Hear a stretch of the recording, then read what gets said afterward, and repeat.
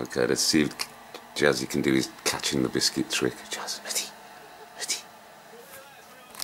Oh! Close. Hiya, modelers out there.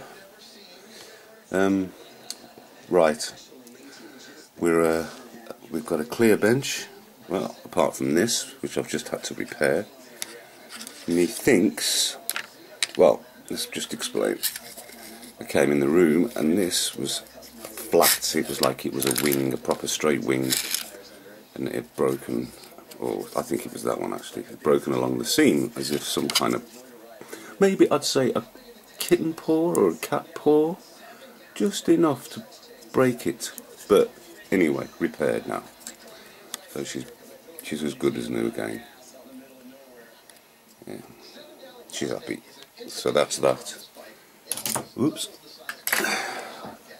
And what have we got now? Oh, and there's a little car, diecast, that uh, Sinead built. Doors open and the engine, open, the boot, I mean the engine opens at the back to show a little, little engine, which is in there. you can't really see it. It's got a nice little interior, but lovely. Doors open. Bad screws on the doors though, so I'll leave it as it is. But yep, she made that. Very nice it is too. And what am I up to then? Well, I'll... Oh, where's it gone? There it is. Let's reveal all of this. So, we have this. Yes, the strange looking material piece, P34. Go, it's a 19, 1977 car again, so it will go very well. Whoa, whoa, whoa, come on, camera, please. It'll go very well with the Wolf and the Ferrari. I mean, no, the Ferrari is a different scale, but it'll go well with the Wolf. I can mount them two together. Uh, I can mount these, but this and the Wolf together. But that's it. So, no metal edge parts in this, which I was quite disappointed in. But anyway, it's a lovely kit, and uh, the mood I'm in at the moment for modelling, it shouldn't take too long at all. Nice, I mean, you can just imagine how big it's going to be with the engine and the wing attached. So, it's an, again, it's another really nice scale, and the detail is lovely.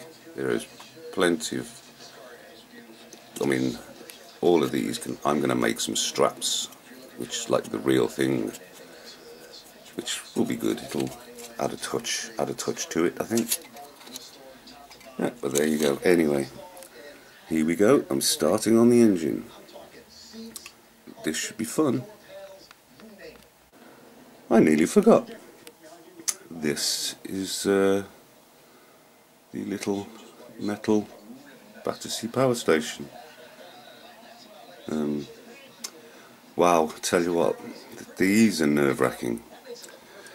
Um, I've managed to. I was confused at the start, but I've managed to um, figure it out with the aid of my girlfriend. Thank you. And uh, they're fun, but the, the metal is incredibly brittle, and a couple of joints have already broken here and here, and they've also broken on I think it's this one, those two towers are now no longer joined. So I'm going to have to figure that one out. But on the whole, that was quite a little bit of fun. And they look good. They look very... I like them. I just really like them. And I think it was a lovely gift. Anyway, onto the uh, engine of the new build. Okie dokie, all the engine and gearbox components ready.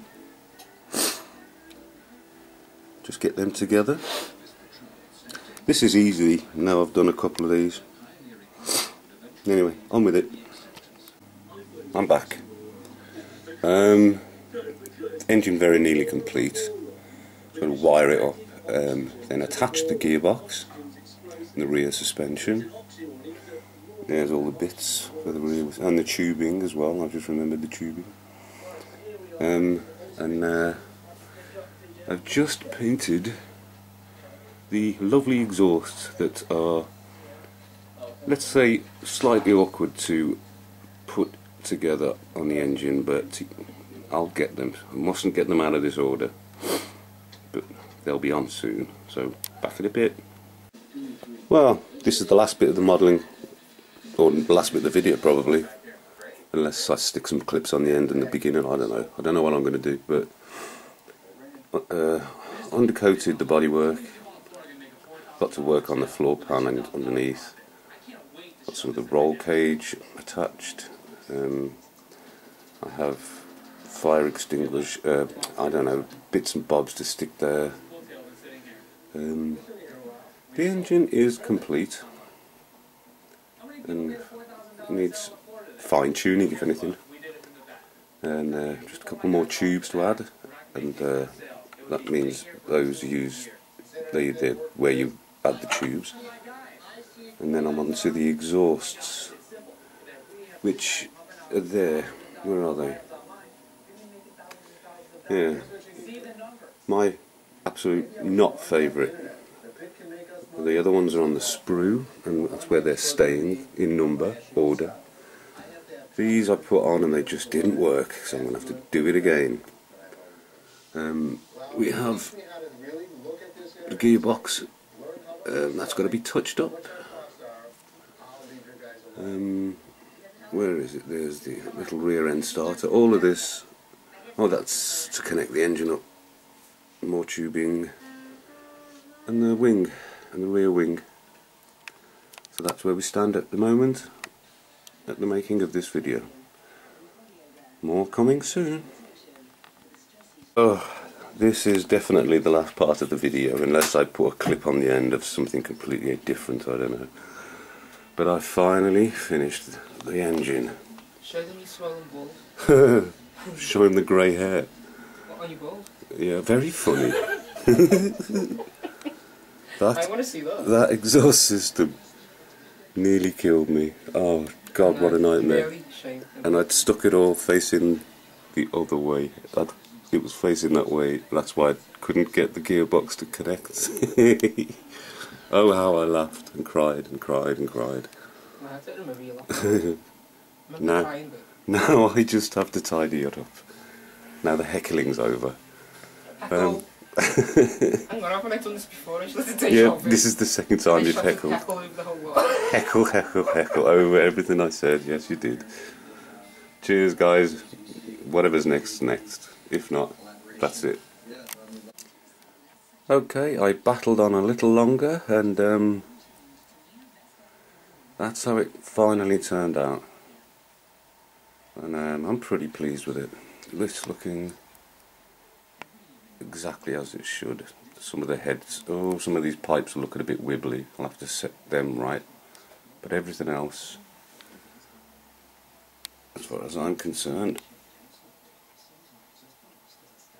is done. That's what I like. This is the end.